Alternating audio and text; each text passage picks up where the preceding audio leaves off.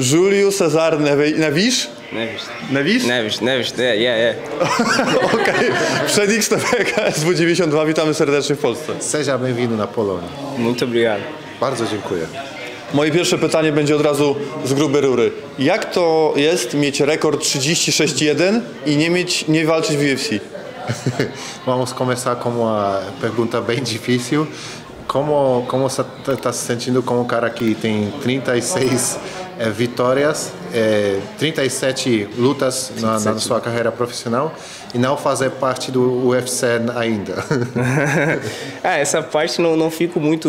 Não é uma pergunta muito difícil para mim, porque também eu tive alguns deslizes na minha carreira, então também tem consequência minha de não estar no, no evento. Então não é uma pergunta tão complexa para mim, porque um, metade da culpa é minha. Então tá tranquilo sobre isso. Mas No, nie jest to pytanie z grubej rury, ponieważ no, tak się po prostu potoczyła moja kariera. E, W pewnym sensie jest to jakby moja wina, że, że, że, że jeszcze tam nie jestem.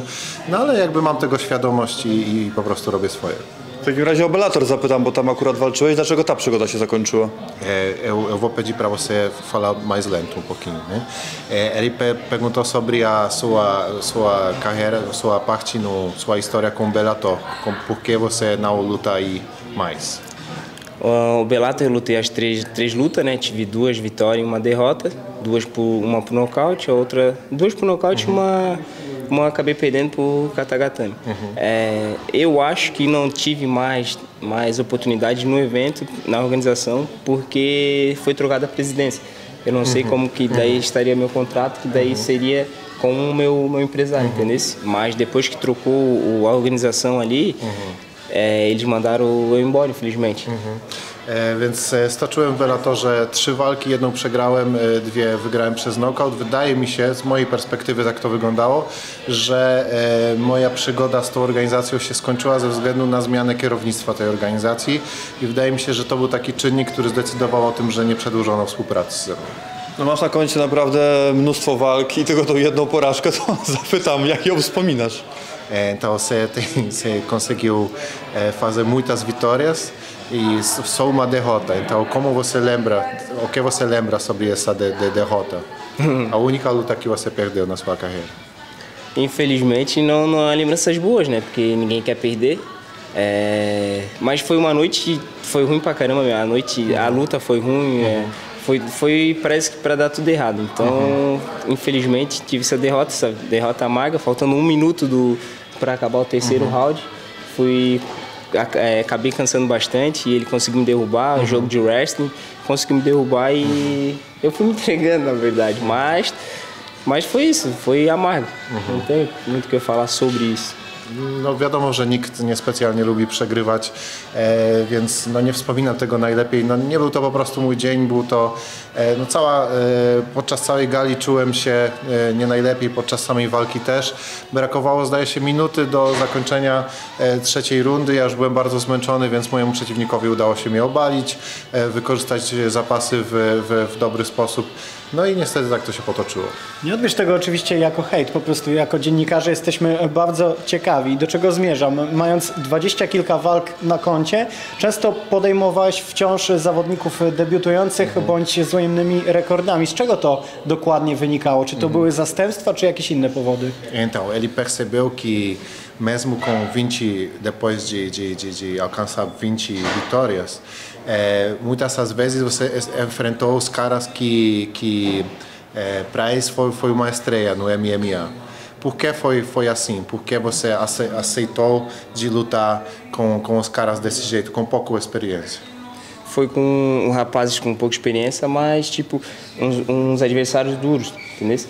Não foi porque não tinha luta, mas vinha lá com bastante luta de jiu-jitsu, bastante luta de, de muay thai. Então eles tinham essa bagagem sobre eh, essa experiência sobre as lutas. Não tinha eh, especificamente no, no MMA, mas eram todos caras duros. Geralmente às vezes eu lutava uma te- categoria acima tudo para mim poder fazer bastante luta, entendeu? e, więc no, zdaję sobie sprawę z tego, że tak to mogło wyglądać na papierze, natomiast y, może nawet jeżeli byli to zawodnicy z bardzo małym doświadczeniem w MMA albo wręcz debiutujący w MMA, to byli to też ludzie z, z właśnie z backgroundem w jiu-jitsu, którzy stoczyli mnóstwo starych jiu-jitsu albo w Muay Thai, więc za każdym razem to byli twardzi zawodnicy, tak? To było, to było wyzwanie, to nie była właśnie walka, e, to nie były walki, które, e, które brałem po to, żeby sobie napompować rekord, tylko po prostu było to za każdym razem poważne wyzwanie dla mnie jako sportowca. Jaka jest e, Twoja świadomość na temat e, KSW? Co wiesz o tej organizacji? Czy też kojarzysz e, Twoich rodaków, którzy przez lata bili się tutaj?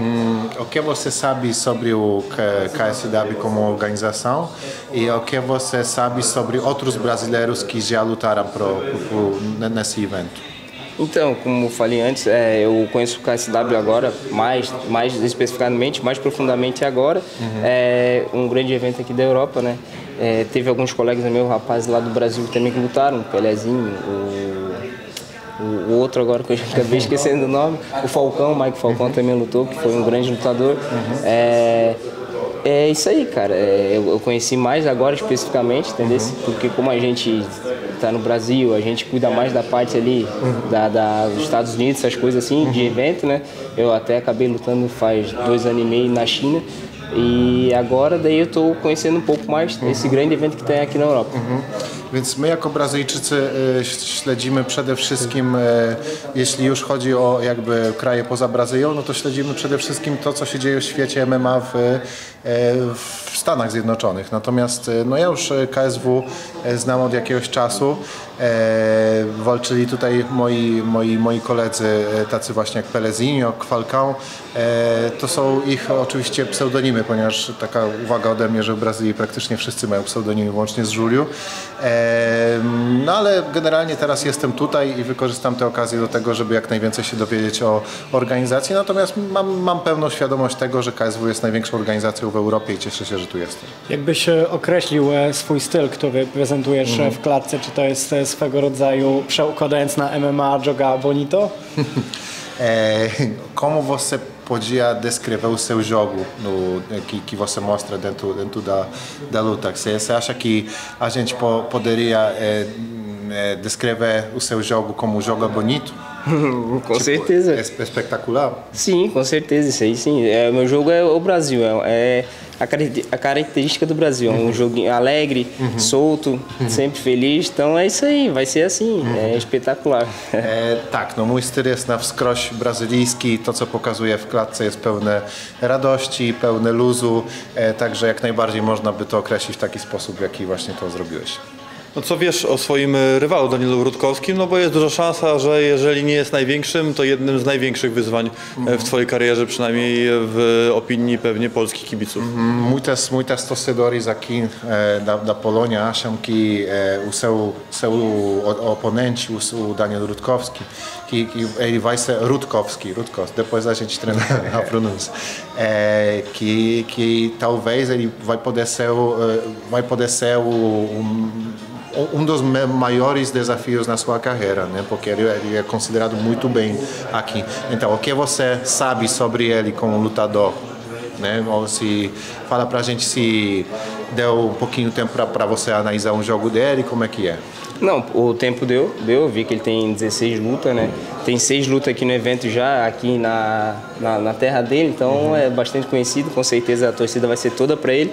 Mas não, não considero que seja o lutador mais duro que eu vou enfrentar. Isso aí não, não tem. Não, não vai me surpreender em nada. Então eu já lutei, já treinei com os melhores do mundo, então não, não me surpreende nada o jogo dele. Ele tá na casa dele, a obrigação é dele.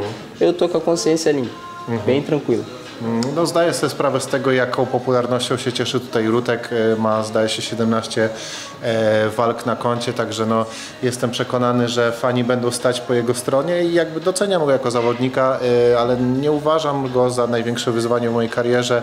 Już do tej pory miałem do czynienia i w klatce, i na treningach z najlepszymi zawodnikami na świecie, także myślę, że Rutek mnie niczym specjalnie nie zaskoczy.